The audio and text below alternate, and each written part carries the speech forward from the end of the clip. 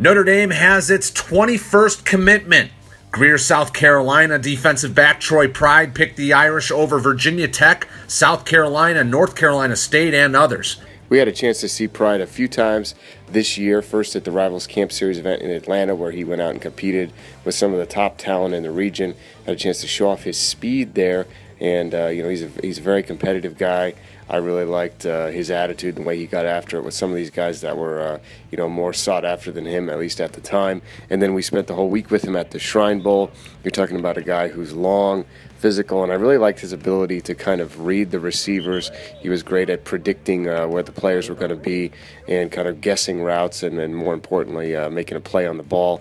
He is very fast. I mean, I, you know, I really like his closing speed.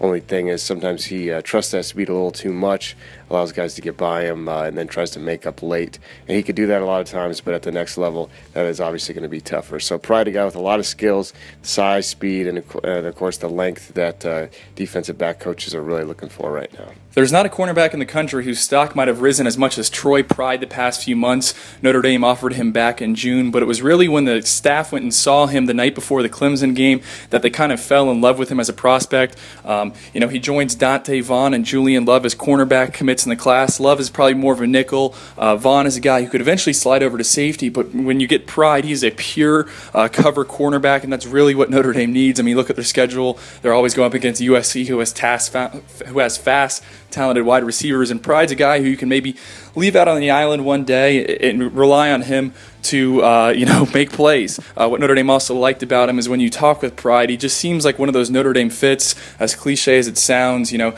he's a, he's a different type of kid and he's looking for the right things. And I think he's getting the total package at Notre Dame. And that's one of the reasons why um, you know the Irish will be able to fend off some late charges there from Clemson, North Carolina State, North Carolina, and more of the regional schools. So uh, good job for Notre Dame to go into South Carolina for the first time in a while and picking up a cornerback prospect that they're very excited about and one who uh, could have an impact somewhere down the line.